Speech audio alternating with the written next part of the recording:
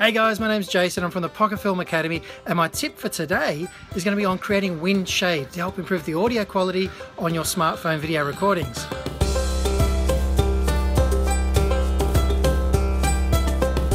Well, here I am, I'm down near the beach. It's not actually a really windy day, but it's just blowing just enough air to probably create a little bit of distortion across the microphone on my iPhone.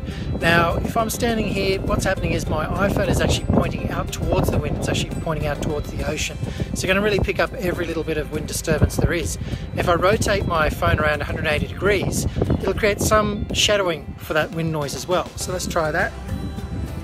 So probably we'll probably still hear some of the noise, but um, it's not going to be quite as loud um, as the distortion when the, the, microphone was actually facing into the wind. Now the other thing to do here is just look around you. So look in the background behind me here, there's a building there.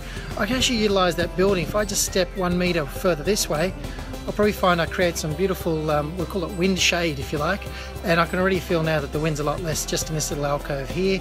Um, so this is perfect. If I'm standing here doing a piece to camera, you won't get any wind, wind noise at all on the microphone, whereas if I step outside here, you're probably going to find, as soon as there's a bit of a gust, that um, my sound is going to be pretty much unusable.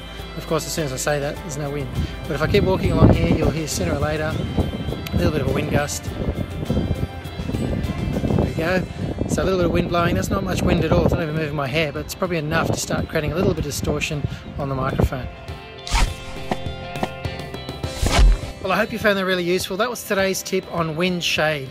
For more film breaking tips, make sure you tune in to my YouTube channel, Pocket Film Academy, or my website, pocketfilmacademy.com. See you there.